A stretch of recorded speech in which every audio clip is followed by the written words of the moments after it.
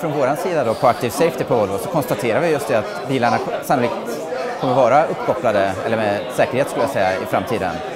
Då ser vi det som en förutsättning att eh, från Active Safety då bidra med, med vår del och addera ytterligare säkerhetsfunktioner där vi använder den uppkopplingen som kommer finnas. Jag, jag skulle säga att en kombination eh, av, en, av en, ett stort antal eh, vad ska man säga, funktioner och, och tjänster som man kan erbjuda till eh, ägarna och förarna av bilarna.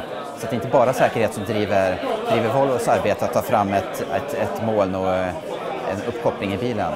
Men vi konstaterar att det görs och så ser vi till att använda det från vår del av, eh, av eh, utvecklingen på Volvo, då, vi som jobbar med Active Safety. Första steget är ganska lätt att se vilka möjligheter, vilka, vilka funktioner som man skulle kunna tänka sig att göra.